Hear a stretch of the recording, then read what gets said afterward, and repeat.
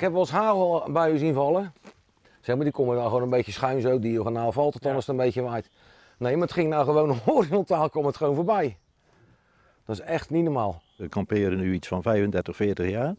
Maar dit heb ik nog nooit meegemaakt. Op zo'n zonnige dag als vandaag zou je het bijna niet geloven, maar gisteren was het een inferno op camping Het Vogelnest. Metershoge bomen braken als luciferhoutjes. Groentetuintjes werden verwoest en voortenten scheurden aan flarden. Veel caravans zitten vol deuken. Kijk, hier kan je het heel duidelijk zien. En zo is het hele gevel van de caravan. Overal eh, inslagen van de hagelstenen. Heeft allemaal putten achtergelaten. De een dieper als de andere.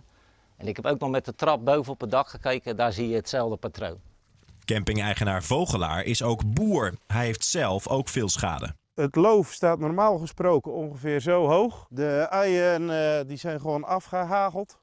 Dus dat betekent dat de ui gaat rotten straks. Ik verwacht uh, dat ik uh, deze oogst als verloren kan beschouwen. Wat betekent dat financieel voor u?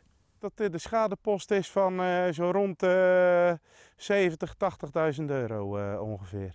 En is dat verzekerd?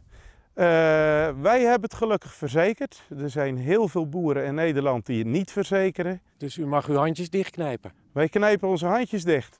En dat doen de campinggasten ook. Sommigen hebben vandaag al een nieuwe voortent gekocht. We gaan er gewoon weer van maken. We hebben lekker weer. Er komt toch weer een nieuwe voortent. Want dit blijven we doen. Menselijk is er niets gebeurd. Dat vind ik eigenlijk het belangrijkste.